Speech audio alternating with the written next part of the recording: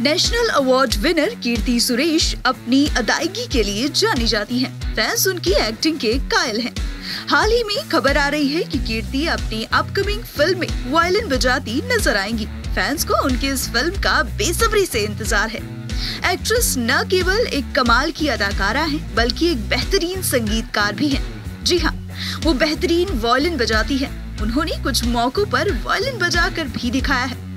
आगे का वीडियो देखने से पहले हमारे चैनल एन एन बॉलीवुड को अगर आपने अभी तक सब्सक्राइब नहीं किया है तो जल्दी से कर लें। इसके साथ ही आपको यहाँ दिख रही घंटी भी बजानी है, ताकि जब भी कोई नई वीडियो आए तो आपको तुरंत नोटिफिकेशन मिल जाए।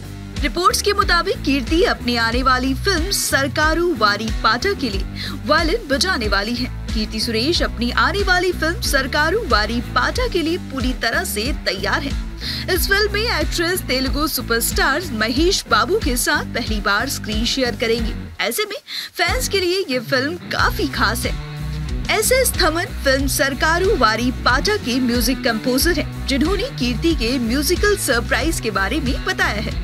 इस बात का खुलासा तब हुआ जब ट्विटर पर एक्ट्रेस के एक फ़ैन ने कयास लगाया कि कीर्ति फ़िल्म में गाना गाने वाली है। इस पर थमन ने यूज़र की बात को नकारते हुए कहा कि वो गाना नहीं गाने वाली है, बल्कि वो फ़िल्म में वॉयलिन ज़रूर बजाने वाली है।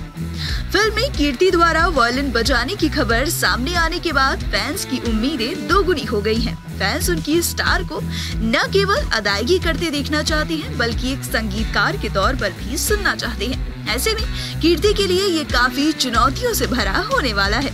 फ़िल्म से जुड़ी रिपोर्ट्स की माने तो म्यूज़िक कंपोजर, थमन, कीर्ति सुरेश के म्यूजिकल टैलेंट को एक प्रमोशनल सॉन्ग में भी इस्तेमाल करने वाले हैं, जो जल्द ही रिलीज़ होने वाला है। गाने की रिलीज़ को लेकर थमन ने सोशल मीडिया पर खुद हिंट दिया था।